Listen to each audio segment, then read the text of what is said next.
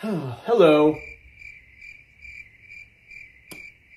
What's up, you guys? It's Jack back filming another video for you guys. So, um, hello. How are you guys doing? I this is so, gonna be this is gonna be awkward. You guys know that coming back after not being somewhere for two years, it's like, oh, I don't even know how to start this. Hello, you guys. I'm Jack. If you guys forgot who I am, I make YouTube video. Well, I, I made YouTube videos for almost eight years or nine years, and then I took a very long break. So I'm going to be trying to explain where I've been for the past two years, and I hope you guys are responsive to this video. I know some of you are probably feeling some type of way because I was gone from YouTube for so long, and it just happened to coincide with when I started OnlyFans, which I'm some sure some of you guys are like, hmm, interesting. He started securing that bag and then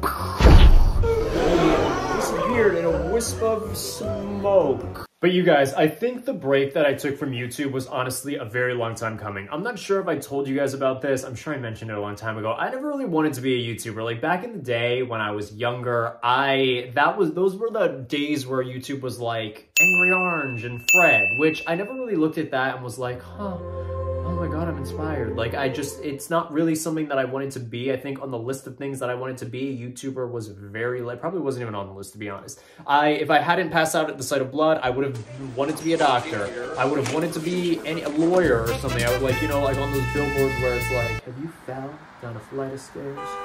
Girl, did you call me right up? That's what I would have wanted to be. You would have seen me on one of those billboards on the highway, but unfortunately you're seeing me on your tablet or computer or Nintendo 3DS or whatever you're watching this on because clearly YouTuber won out. but anyway, you guys, this whole thing came about not because I wanted to be a YouTuber, but because you guys, I really wanted back in the day to connect with gay men. I grew up in a very small town. It wasn't the smallest town on the planet, but there were a lot of straight people, a lot of barns, a lot of chickens, very scant, is that the word? Scant scarce amount, this is not English, scarce amounts of gay people. So because of that, I made a coming out YouTube video just because I really wanted a way to connect with gay men that wasn't just like Grindr. Somehow it honestly took off. I listen. I don't know what algorithm saw this video and was like, promote it. Like, I, I don't know how that happened, but I guess back in the day, your boy had a monopoly on the market somehow. I didn't have a monopoly, but like, I feel like coming out videos, there were not many of them. So because I uploaded that video, my YouTube career kind of took off and it kind of began. And I was not prepared for the cons that went along with that. I love the pros, like I was living it up, but the cons really didn't hit me until probably about like three or four years ago, and then they started really weighing on me. A con, for example, is you guys, when you start out as a YouTuber, you have to brand yourself, and you have to market yourself, and you have to make a brand, and you have to double down on it over and over and over again. Every network will tell you this, management will tell you this, every like how to be a YouTuber video will tell you this. And the thing is, it's fine if your personality isn't the reason you're making YouTube videos. Because I think when you do that as a personality, you become like this Frankenstein person where you start to become what you think people want you to be. So if you guys think that I'm funny, I'm doubling down on that. You think I'm an overshare, I'm gonna share the craziest things about my life. And eventually when you do that over and over again, you become like this thing and you look at it and you're like, is that even like a real, is that me? Like, I don't really, what I'm trying to say is there becomes you and then there becomes like a YouTube version of yourself. The other con is you guys, we all know this, but likes and views are very, very addicting and YouTube, I don't know why. I think they were like, we'll help you brand yourself better. So here's every fraction detail. Here's all the data. so you can see when you failed and you can see what age group you failed in and why. Thank you for that, YouTube. But guess what? I'm not a hamburger at McDonald's where we can be like, oh, like the 18 to 34 demographic didn't really like the taste of the bun. It's like, you know what I mean? Like I'm a human being and I can't easily change myself the way you can change, add some more pepper and salt to a burger, right? Anyway, at one point, in order to succeed on YouTube, you have to sacrifice enjoying it. And I was never really prepared for that. And I didn't really have to deal with that until about like six or seven years into doing YouTube. It reminded me a lot, and maybe you guys will understand this, it reminded me a lot of me playing soccer back in the day. Like soccer used to be something that I loved doing. Like it used to be my identity. I remember back when I started playing it, I even wrote like a poem in sixth grade and it was like, I'm a soccer player. My screen name back in the day was Soccer Slammer. I don't know what a slammer is, but you know what? It was my brand at the time. Like I really enjoyed soccer, but the more I had to like get competitive at it and the more and more time I had to invest in it and the more it became this identity that I was protecting, the less I kind of liked it. At one point, I remember I had to like make a team, like make the high school team. And I was even thinking to myself, like, gotta make this team. It's so important that I do. And I didn't even at that point want to really play soccer anymore. It was just that all my life I'd been a soccer player and I wasn't ready to deal with like, who am I without soccer? You know, what will I write poetry about? You know, I'll just become slammer instead of soccer slammer. And I didn't know what that looked like. And I feel like YouTube is very similar to that. Like at one point I wasn't doing it out of joy and I wasn't doing it because I was making content that I loved. I did love some of it, but I mainly was making stuff because I was trying to protect the identity of being a YouTuber and I didn't want to fail at it. And I wanted to, you know, be there next week being a YouTuber. So I was doing things kind of out of necessity and it was almost like a fight or flight thing. It was like, oh my God, gotta get the views because if I get the views, I'll be rich. and if I don't, I will become a lowly maid. And it would become this thing where literally like clockwork, if I had to make a video on, you know, a Tuesday or something, Sunday night and Monday night, I would be like, okay, brain, gotta brainstorm an idea. And internally, this is what happened in my brain. Oh, okay, gotta film tomorrow for YouTube. So, uh, let me just brainstorm and try to think of an idea. Oh, hey, it's my gamer side. Uh, gamer side, sorry to disturb huh? you. Do you have any ideas for what I can film to get a bunch of views on YouTube? I don't know, I could play a game like I am right now. let me reiterate the fact that, you know, this needs views, so I could open Pokemon cards or something. Yeah, maybe that could get a view, but I think we need to think bigger. I don't know, I could take off an article of clothing every single time I lose at my game. You know, I'm actually liking where this is going. Ooh, did you just feel that chill? Oh, what was that? Oh, depressed side, back again. Hey, uh, depressed side, um, we're a little busy here, so if you could just go away for, you know, more than a few days this time, that would be appreciated. I could read a poem for a YouTube video. I, I think we're okay. Roses are red, violets are blue. I'm gay and depressed, but what else is there? You know? Ooh, that was good. Don't clap for him. I could read another one if you'd like. This one's entitled My Broken Youth. I saw the play. Oh, oh, sorry everyone. Fitness side. Fitness side. Do you know any ideas I could use for a YouTube video? Hey, uh, I could do a workout video. Can we do that naked? Um, I I think LA Fitness would, you know, just strongly condemn that. So then no. anyway, does anyone have any ideas? Like seriously. It, you guys hear that? Oh my god.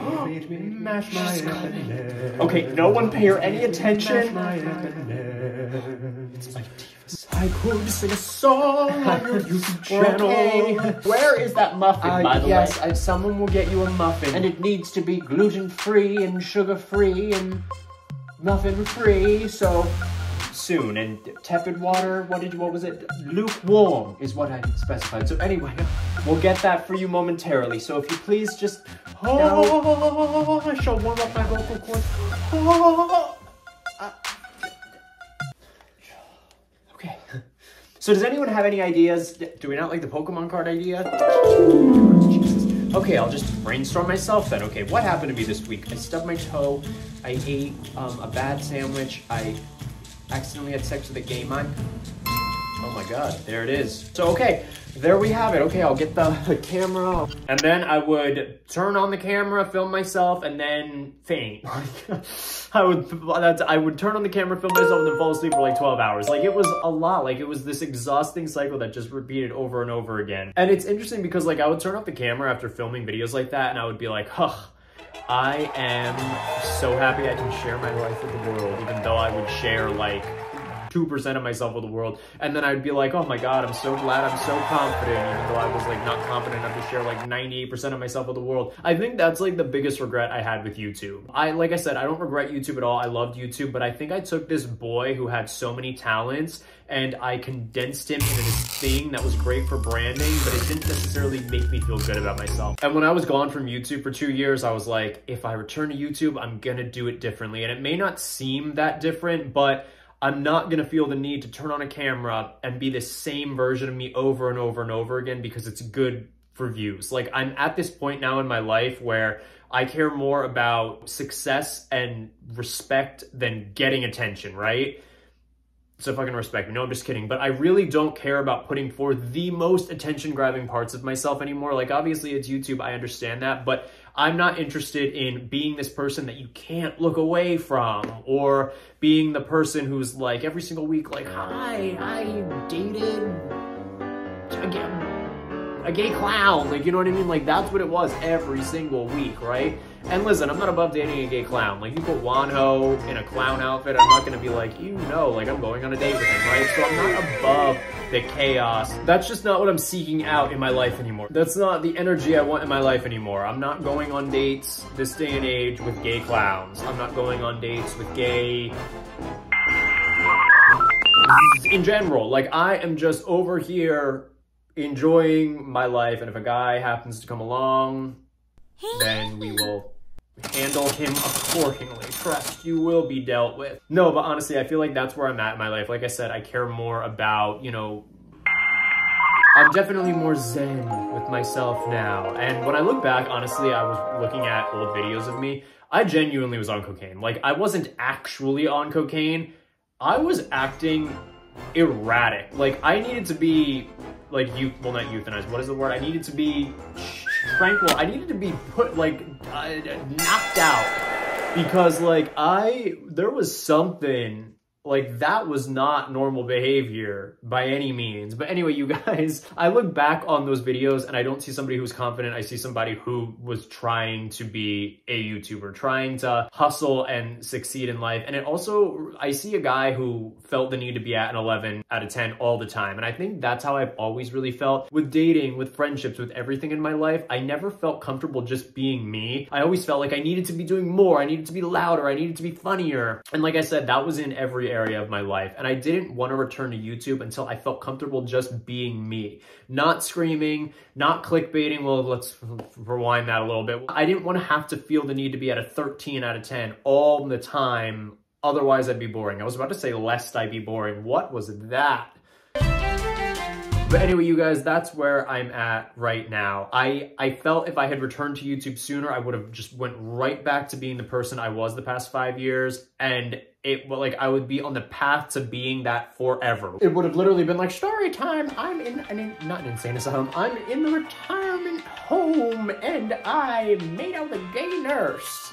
And then fell down a flight of stairs. Like it just would have been a lot. Or it would have been like story time. I had a threesome with two hot guys and they were ended up being mops because I'm senile. Like, it just would have been a lot. You know what I mean? Like, I saw the ghost of Christmas past or the ghost of Christmas future, whatever you want to say. He visited me and he showed me my future if I didn't, you know, get it together. And I did not find it pretty. So, yes, that's why I needed to kind of regather myself and figure out who I wanted to be. And then I needed to figure out how to achieve that. And I like where I'm at now. Like, I don't feel the need to be over the top. Like, I like the way I look. I like the way I dress. I like the way I sound. I like the way I sit on a chair, despite the fact that a bunch of other people complain about how I sit in videos. I'm so sorry. But anyway, I hope this video made sense uh, for you guys. I don't know when I'll be back on YouTube. It might be a week. It might be two weeks. I don't know. I filmed other videos, believe it or not. So there's at least some videos that will come out. I don't know how rapidly they'll be coming out, but I love you guys so, so much. If you want, follow me on Twitter Fisher.cam. Instagram is jmerridew. Uh, my OnlyFans will be linked below if you want more content from me. Um, but yeah, I love you guys so, so much. Thank you for being here. I really appreciate it. I hope you guys enjoyed this video. I hope you guys enjoy hearing my voice again. And yeah, I'll see you guys again soon. Thanks again. Bye, guys.